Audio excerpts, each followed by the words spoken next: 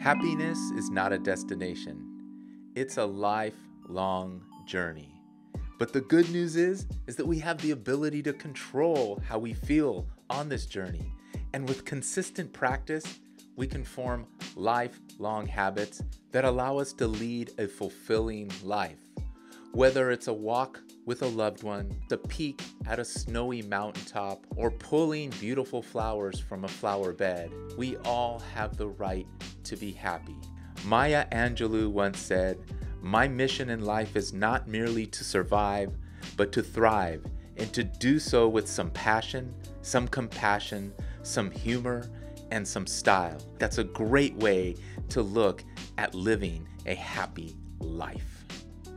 Buenos dias and welcome back to the vlog, everybody. Today I'd like to talk about entrepreneurship versus having a stable income or a job that you go to on a daily basis for a company. So the definition of an entrepreneur goes something like this. Someone who operates or owns their own business and takes on a greater financial risk.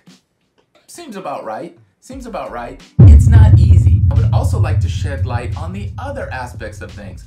Leaving high school and moving into your college career to focus on a specific area of work such as being a lawyer, being a banker, being a teacher, doing whatever you think that you have interest in and you'd like to get there by following these steps. So there are laid out steps for being a doctor. There are laid out steps for being a teacher. And if you follow those steps, more often than not, you're going to get there with a little perseverance, a little bit of hard work, and it will work out for you.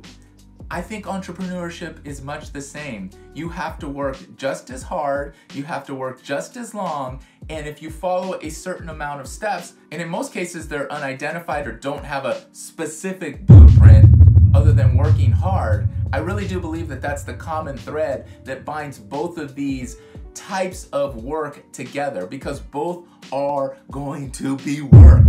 Whether you're starting your own business and getting yourself in debt by financing your business or you're following a specific set of guidelines and steps that you're paying for and going into debt for, but eventually both roads will cross at some point and there'll be a fork in the road per se where you have to decide on whether you want to take your debt from school or take your debt from the energy that you put in to the entrepreneurial business aspect of your future? What energy are you going to put into your future? And sometimes I don't know why we argue about it online. I feel that some people try to tell other people on the internet that one is better than the other. I don't think that debt is good in any case, but you probably will have to incur some in order to get to where you want to be, unless you have a perfectly laid out plan, and I don't think most of us do. And that doesn't mean we shouldn't be striving for that. I really truly believe there's another underlying, underpinning point here, and that is. Having a smile on your face daily is hard to do. Having the courage to get up every day and know that it's a grand day because you're breathing, you're healthy, you are able to build on the things that you did the day before and follow your aspirations and dreams. That is something we need to reflect on daily. And if you do, you'll figure out what a wonderful world we actually live in. I'm here to say in this video that just get out there, work super hard, don't listen to a lot of other people or naysayers. Get in an environment that's gonna support your entrepreneurial business side or aspect, or get with a bunch of people that are gonna push you and drive you to get that step by step follow that blueprint and be the best teacher, be the best lawyer, be the best ER physician that you can be.